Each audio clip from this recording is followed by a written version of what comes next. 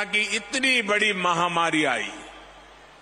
पूरी दुनिया की व्यवस्थाएँ चरमरा गई, ठप पड़ गई। भारत के गरीब तबके के लिए, दलित आदिवासी के लिए, हर कोई आशंका जता रहा था। कहा जा रहा था कि सौ साल बाद इतनी बड़ी आपदा आई है। समाज का ये तबका कैसे रह पाएगा? लेकिन तब मैंने ये तय किया कि चाहे जो हो जाए, मैं मेरे गरीब भाई बहन को खाली पेट सोने नहीं दूँगा।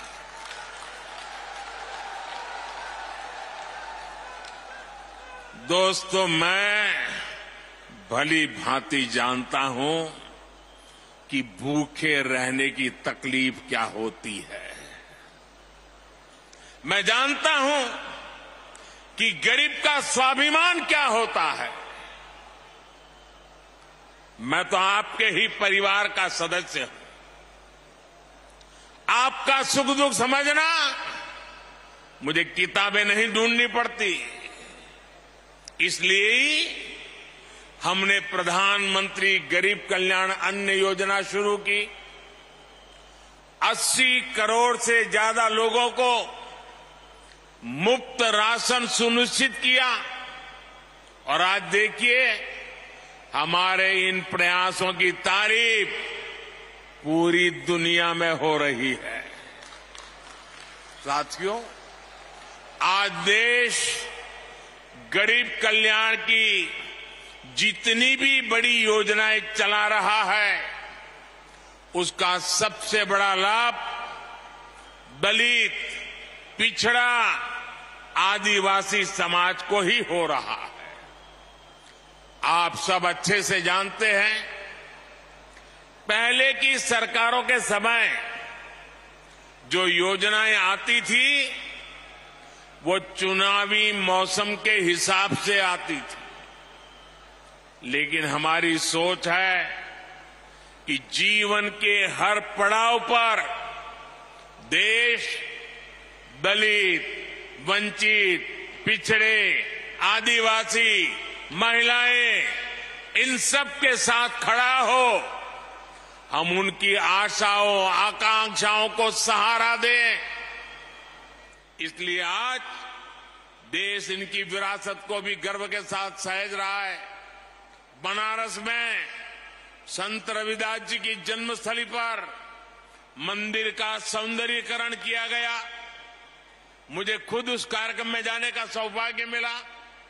यहाँ भोपाल के गोविंदपुरा में जो ग्लोबल स्किल पार्क बन रहा है, उसका नाम भी संत रविदास के नाम पर रखा गया है। बाबा साहब के जीवन से जुड़े प्रमुख स्थानों को भी पंच तीर्थ के रूप में विकसित करने का जिम्मा हमने उठाया है। इसी तरह आज देश के कई राज्यों में जनजातीय समाज के गौरवशाली इतिहास को अमर करने के लिए म्यूज़ियम बन रहे हैं। भगवान बिरसा मुंडा के जन्मदिन को देश ने जनजातीय गौरव दिवस के रूप में मनाने की परंपरा शुरू की है। मध्य प्रदेश में भी हबीबगंज रेलवे स्टेशन का नाम गौंड समाज की रानी कमलापति के नाम पर रखा गया है। पाताल पानी स्टेशन का नाम टंटिया मामा के नाम पर किया है। आज पहली बार देश में दलित, पिछड़ा और आदिवासी परंपरा को वो सम्मान मिल रहा है जिसके ये समाज के लोग हकदार थे। हमें सबका साथ, सबका विकास, सबका विश्वास और सबका प्रयास के इसी संकल्प को लेकर आगे बढ़ना है।